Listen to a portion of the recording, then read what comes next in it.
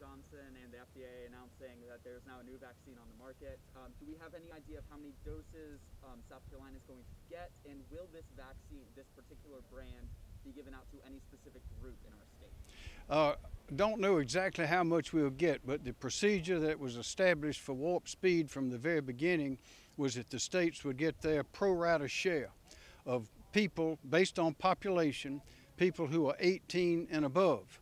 We have about 5.2 million people in South Carolina. We have about 4.1 million that are 18 and above. It's not recommended for people younger than that. So I would expect that we would get our pro rata share, which is about 1.5%. However, uh, what the group is, is doing now is they are taking some of the increase and putting it uh, separately out into the federally qualified health centers, also going to the Department of Defense, the Veterans Department. We had a, uh, a mass vaccine site at the Colonial Arena, I think about a week and a half ago.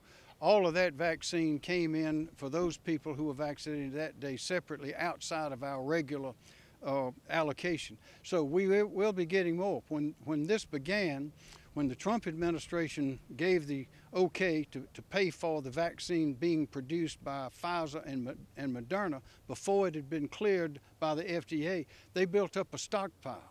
So we were able to draw from that stockpile starting in December when those vaccines were approved. Johnson & Johnson was not a part of that, so they, are, they have no stockpile at this point.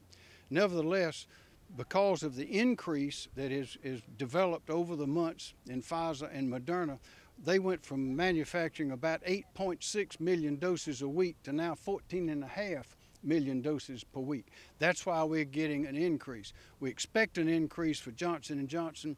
When it'll arrive, uh, we don't know how much, but it won't be as much as we've have, the, the increases we've been getting from the others, but it will be substantial. But we expect, and we were told from the very beginning, that come March, we'll be getting a lot more vaccine than we were getting in December. And in fact, we're about 60% more now than we were getting in December every week. Governor, where are we right now with the teacher vaccination program? That, that bill was in the House. I think they, uh, they had a hearing and they, they put it on the table until they could get more information about the, the school district's plans for getting vaccinated and the school district's plans for opening the schools up to the parents who wanted their children to be there. But what our point is, our, our approach is we know it's the older people who are most at risk. 88% of those who have died are 61 years old or over. Uh, the young people, those who are getting sick, are not getting very sick. Some of them don't even know they have it. Maybe you would have it, not even know it. You young, young and healthy people uh, would, do not need to be at, at the top of the list. But uh, what we are attempting to do, rather than try to categorize people in occupations, is we want to get the flow into the arms going as quickly as possible, statewide, everywhere, places like this, purely volunteers. It, the only thing that's government sponsored here is, is the vaccine, which is paid for. But our goal is to get everyone a, a, shot who wants it at a place where they're comfortable in going to get it. Sometimes it's a little more difficult in some of the rural areas to do that. We're working on with, with churches and other leaders to, to lend their authority to this, this process. The hospitals are going uh, very, very, very well. And we hope that standing up all our, the big pharmacies as well as the independent pharmacies, and we have about 609 of those that are willing and qualified to participate. We hope when that gets going and enough vaccine is coming to supply all of them, that everybody who wants a shot will be able to get one in short order. Just getting a question in actually uh, from a viewer who is watching this live. Uh, the question being, we've heard from many teachers who say they are more than willing to wait their turn but what is your plan for how schools should manage staffing shortages while teachers are out sick or for quarantine for weeks? Um, well, that's the same for every every, every uh, group uh, that, that is uh, out there. Every occupation has the same problem. The the House on that when they were having their hearing, they had uh, air traffic controllers, the press association, I think the federal judges, uh, uh, all sorts of occupations have the, the, are facing the same challenges. What we know from the, the spread from students in the schools is as if there's little, if any, spread from the students. Now, at the beginning of this, back in January and February, we were worried about what would happen when schools opened and you had all the young people, all the children in there. We thought it'd be a super spreader event. It's turned out to be just the opposite. So we know a lot more now than we knew then. But uh, uh, teachers, all the professionals, those in transit, those working in grocery stores, are all sorts of occupations and people that we that are, are vital. We're all connected in one way or another. Again, our goal is not to put one ahead of the other, except for the elderly, who are the ones who will die if they do not get a vaccine, who may die. We are not going to put a younger, healthier person ahead of an older person who is subject to getting the virus and dying in this process. We must take care and protect those who are most vulnerable first. But again, as I answered, our goal is to have our system in South Carolina working so fast and so well that there won't be any lines, that you'll be able to just go through and get those shots when, you, when you're ready. On older people, are we planning on changing any of the rules of navigating nursing homes right now? Anything related to opening them back up? We're trying we're trying to do that, and we're running into complications with the rules from CDC and C, CMS. Uh, that has been a concern from the beginning.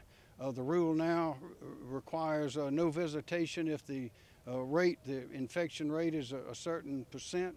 Uh, and depends on how you count that rate, but it, it looks to us like it's, it's below 10% in these areas. It looks to the people in Washington as though it's above it. So we're working hard with that, but we do have a, a compassionate uh, exception if, for particular reasons. If there is a, a case that demands visitation, that can be done right now uh, through DHEC. But the visitation is something that has, has been a, a, challenge, and we have worried about it, and we are, I can promise you, we, we frankly, we don't understand the, the federal government regulations that are causing our people not to be able to visit their young ones, particularly since the, in the nursing homes, long-term care facilities, uh, they're about to all get vaccinated, everyone in there that, that wanted to vaccine. So we're working on that. It's been a, it's been a concern of ours from the very beginning. Can you not like kind of override it? The Well, government and say, You, you, there, there are legal complications for that. That's, that's one of the questions, and we've been given two clear answers. One is yes, and the other is no. So that's, that's where we are on that. But it, it, we are dealing, talking to the nursing homes themselves. There's questions of liability if someone makes an error. There are a lot of questions that go into it, but the, the people in the nursing homes have been isolated from their loved ones for too long, and we've been battling to, to get this opened up safely, and I think we're on the edge of getting it done. Governor, I think there's a lot of still hesitancy and doubt about the vaccine itself. A message to people who are still unsure whether they want to get the vaccine or not because they simply don't trust what's in the vaccine, is what many people say. Well, there are a lot of people don't don't like shots. A lot of people don't, just don't like medicine, and for reasons of their own, and some well documented, and, and some that are uh, hypothetical.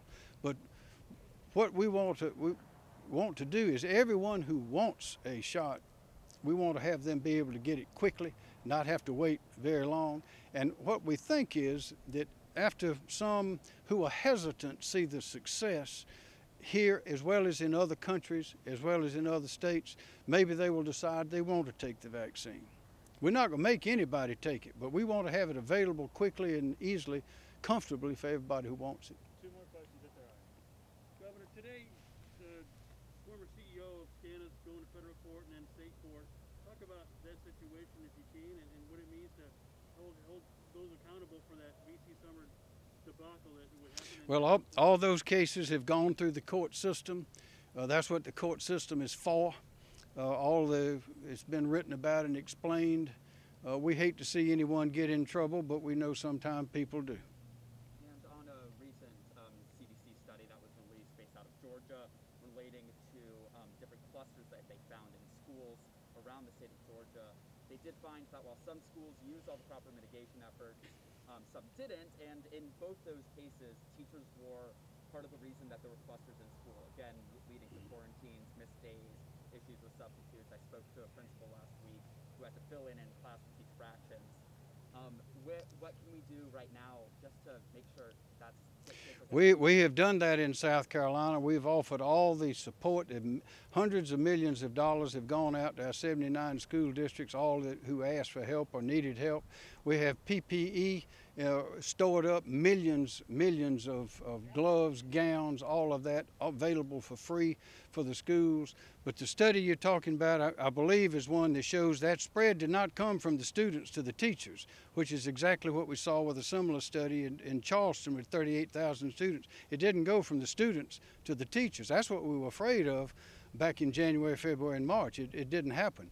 The teachers, people working in schools, just like those working any any place else, they have to be careful of their contact uh, with with their co-workers. This is it's not unusual. This this is how it gets spread. It's among adults, but again, everyone is facing that same challenge.